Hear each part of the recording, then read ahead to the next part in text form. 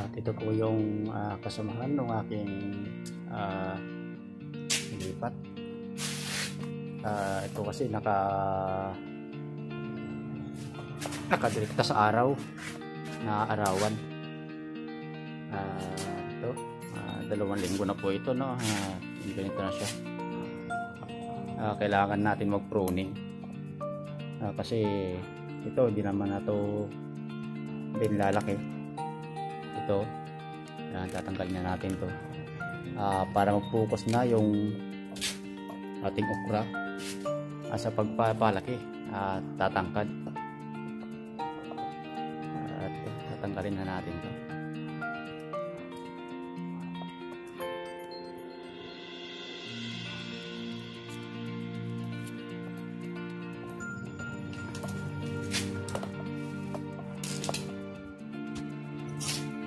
at i-cultivate lang natin yung kanyang lupa. Ah, para makakahinga yung kanyang mga ugat. Yan ganun lang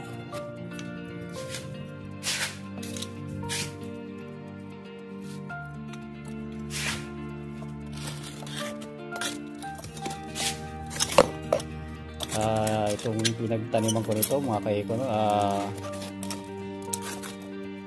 Ah, dati po kung may kalamansi dito, ah, itong pinutol na to, ah, namatay siya. Ah, puno po ng kalamansi yan. Ah, dahil sakal na po yung kanyang ugat. Ah, dahil medyo ah, matagal na to eh. Ah, luma na. So hindi ko siya tinanggal. Diyan lang. Tapos nagkaroon siya ng space dito sa taas. Ah, nilagay ko dito yung aking okra. Yan. Yan, malapit na itong mamulaklak.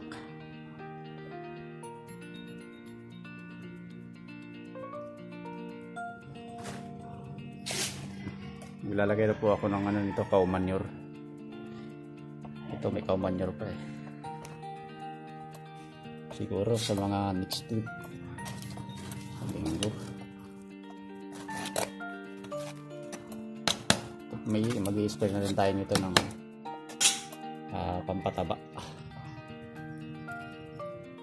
Ah, yung ating gawang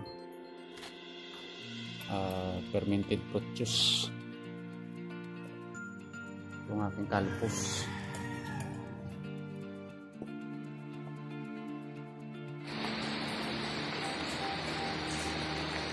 Yan, ito yung ating okra, mga kaiko. Ah, malapit nitong mamunga. Ah, umulan.